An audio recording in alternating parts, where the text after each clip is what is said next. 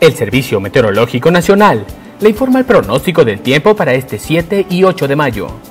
El Frente Frío número 61 seguirá asociado con una baja presión de núcleo frío. En su avance hacia el oriente, ocasionará potencial de lluvias aisladas acompañadas de tormentas eléctricas y posibles granizadas en Chihuahua, Coahuila, Nuevo León y Tamaulipas, así como potencial de vientos fuertes con rachas de hasta 60 km por hora,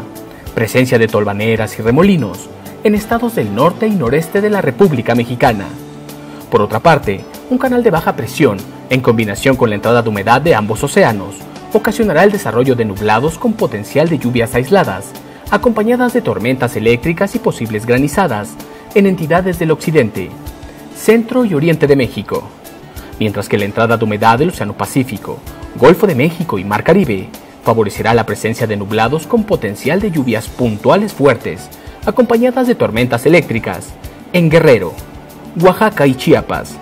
y lluvias aisladas en el sureste mexicano. Finalmente, una circulación de alta presión favorecerá ambiente caluroso a extremadamente caluroso en los estados del Pacífico,